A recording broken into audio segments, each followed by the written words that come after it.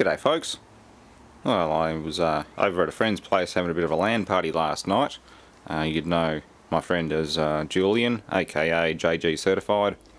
The guy who gave me the rack and the Dell servers and went shooting a few weeks ago. Uh, yeah, you'll see more and more from him and I. And uh, we sort of traded equipment.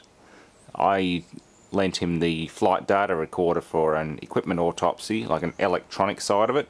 He's going to work out all the uh, workings of that thing. And I just thought I'd grab one of these Silkworm 200E fiber uh, network routers. Just because, well, neither of us have any use for them, but it'd make good rack filler and it'll certainly make a good video when I take the top off this thing because I've always wondered what's inside. It's actually, uh, yeah, it's a fiber network switch. I don't have the NICs to go with it, but I do have the main box. Uh, it does power up and work, but I've got nothing to really test it with. Yeah, everything's lit up and ready. Tons of airflow.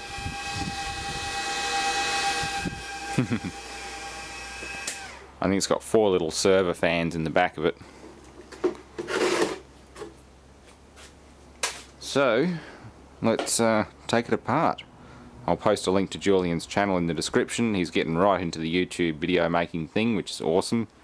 And uh, yeah, if you like computer stuff, I strongly recommend that you uh, subscribe. Because you'll definitely be seeing more from him and I. We'll share equipment and that sort of thing he knows more about electronics and things than I do, like on a chip level and a software level. Uh, he's a software writer slash engineer, so you um, can expect more on the flight data recorder from him as far as the electronics go than what I could do. So yeah, he's borrowing that for the time being and uh, we'll do a bit of a examination and a detailed walkthrough of what all the chips and the processor and everything do. We had a bit of a look at it last night, it's quite fascinating. But anyway, let's open this up and have a look. I won't be as, uh, well, educated in the chip side of this thing as he would be, but who knows. I might even, uh, well, he's, he's got one as well, so I'd recommend that he takes it apart and gives a detailed exam on it as well. Not everyone gets to look inside a 16 port fiber switch. Interesting thing is, all the optical to signal, um, electronic signal conversions done with these little modules. They plug into the front panel here. Yeah, I think they go that way. Yeah, they plug in like so. It's uh, made by Finisar, Sunnyvale, California, made in Malaysia. Um, is it FTLF 8524 P2BNV. That's the part number on that. There's a whole bunch of them. So that converts the optical signal to uh, digital electronic by the looks of it. The rest of this is going to be a very fast switch, a gigabit switch. Yeah, a few screws to take out, should be able to pop the lid off. Yeah, that's what's inside one of the little modules. I'll have to pop that under the scope. But, yeah. Basically a little uh, converter module. You can see a pair of optocouplers on the front. One's obviously transmit, the other's receive. And there's two ICs on there which do the bulk of the processing, everything else. Uh, there's a third one on the underside, little one. Yeah, interesting stuff. I'll have to get that under the scope and have a closer look at it. Alright, well unfortunately there isn't a lot to see inside of it because it's pretty much one main chip, looks like a interface and that's about it. does seem to have a uh, memory card in there. That must contain the... Oh, there's bootloader, so this will actually run an operating system of some description. We've got three Infineon, uh, so 256 meg RAM chips there. So it's running 712 meg of RAM. Uh, Delta PSU, supplying 12 volt 6 amps. So it's just a single voltage switch mode power supply decent quality delta one. What's inside that flash card a CF card?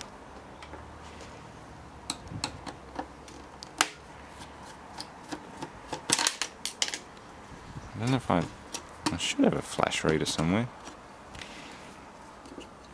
I don't think there's an eject on it. I'm going to have to pull that out manually. Either way, it'd be interesting, interesting to see what's on that CF card. How do I get you off? Especially mounted, but I don't really want to provoke it too much because it looks like it's got brass push pins going into brass sockets. And if I pull it out the wrong way, it'll destroy it. Backup battery tiny little one. Yeah, there is surprisingly little on here. Obviously there's expansion for another another power supply by the looks of it. Looking at the size, the shape of that that opening in the chassis and the mounting standoffs, it looks like you can mount a second power supply there. But we've also got mounting points for more uh, headers. Probably, yeah. SFP2A, 3B, 3A, 3C, 3D. So it looks like this board can be used in a num number of different uh, units. And all that's well and truly shielded. All made by Foxconn. Yeah, there isn't as much in here as I thought there would be. It's got three Delta DC 12 volt fans. Is it 0.24 amps each. Don't know what's under there. Again, I don't really want to go ripping heat sinks off, especially because they they fit they feel like I don't know they do move. That one doesn't want to move. That one does. I'm just hesitant to try and apply any excess force to that because it's obviously attached to a, B, a BGA chip package and bad things can happen when you force heat sinks on BGA chip packages. really bad things. So I'll pop this uh, card out and see if I can read it on my uh, PC reader. Now it's active but it's telling me I have an invalid format. He wants to format it before I can even access it. Oh well, it was worth a try. Pesky little thing. Okay, for the last trick up my sleeve, this is the optical to, I guess you'd say optical to digital converter module, one of them.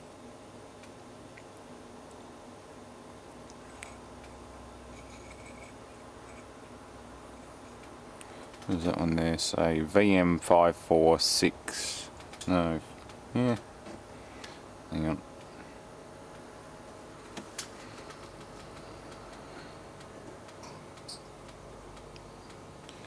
VM54ES. That's what that second chip says. You got transmit and receive uh, diodes, I guess. What would they be classed as? I'm guessing diodes since it's optical, LEDs, but you've also got a receive component like a uh, optocoupler. It's quite fascinating stuff. Another small IC under there. I'm not going to take the board out. Looks like it's attached to the front of the housing.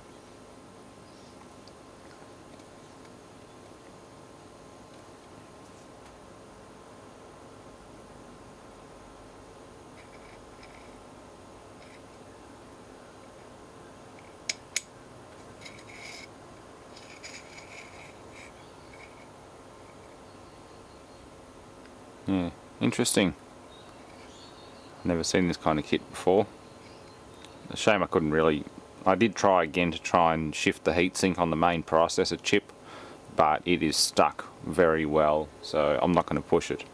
It's a pretty expensive bit of kit, so I'm not going to risk wrecking it. But this little gizmo, yeah, interesting stuff. Optical uh, 1 gigabit Ethernet anyway, I uh, hope you learned something from it. I sort of did.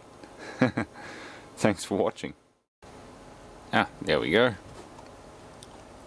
I just sort of look up the actual part and it is a op fibre optic transceiver. You can buy them on DigiKey for 58 59 each or if you buy 5,000 of them they'll go as low as $38 each but your bill's going to be $190,000 that's a lot of uh, transceivers. Uh, there are data sheets alldatasheet.com has it. Again uh, 4.25 gig per second bidirectional hot pluggable uh, all metal enclosure single 3.3 volt power supply pretty good stuff. It's got the pin outs on it as well. Yeah it's all there. So I'll copy the link to this PDF and put it in the description. Thanks for watching